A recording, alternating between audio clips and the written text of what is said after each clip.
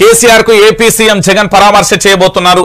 ఎందుకు అంటే మీరు గుర్తుపెట్టుకోరి వాస్తవ విషయం ఏంటంటే కల్వకుంట్ల చంద్రశేఖరరావు గారికి గతంలో జరిగిన తన ఇంట్లో జారిపడ్డ ఘటనలో తన బోనుకు ఫ్రాక్చర్ అయింది.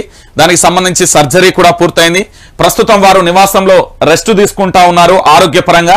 సో కేసీఆర్ను పరామర్శించడానికి వైఎస్ జగన్ బయలుదేరిండు. ఎందుకు బయలుదేరిండు అంటే రాజకీయ పరిణామాలు కానీ ఆంధ్రప్రదేశ్లో మళ్ళొక్కసారి కేసీఆర్ ఓడిపోతాడని కలలో ఇలలో కూడా ఊహించలే. అనుకోకుండా వచ్చిన ప్రభుత్వం బీఆర్ఎస్ ప్రభుత్వం అది కేవలం పది యూట్యూబ్ ఛానళ్ళ ప్రచారంతోనే వచ్చిందని చెప్పిండు. కాస్త దాంట్లో యాడ్ చేసి ముప్పై రెండు ఏంది కళాశాలలు కాదు ముప్పై రెండు యూట్యూబ్లు పెట్టుకుంటే సరిపోతుంది అనుకుని కేటీఆర్ ఒక వ్యాఖ్య చేసిండు అంటే మీడియా సంస్థల ప్రభావం ఏ స్థాయిలో పడ్డ సాటిలైట్ కాదు యూట్యూబ్. నేను ప్రతిసారి చెప్తా ఉన్నా ఆ ఏంది కలం గలం జోలికి ఎప్పుడూ రావద్దు. మాట్లాడే గొంతుకను నొక్కద్దు రాసే అక్షరాన్ని ఆపద్దు. ఆపితే ఆ ప్రభుత్వాలను కూలగొడుతుందని నేను గతంలో చెప్పిన ఇప్పుడు ఈ ప్రభుత్వానికి కూడా చెప్తున్నా. మీరు అనవసరంగా రాద్ధాంతం చేస్తే మీ ప్రభుత్వానికే ముప్పు వాటిల్తది.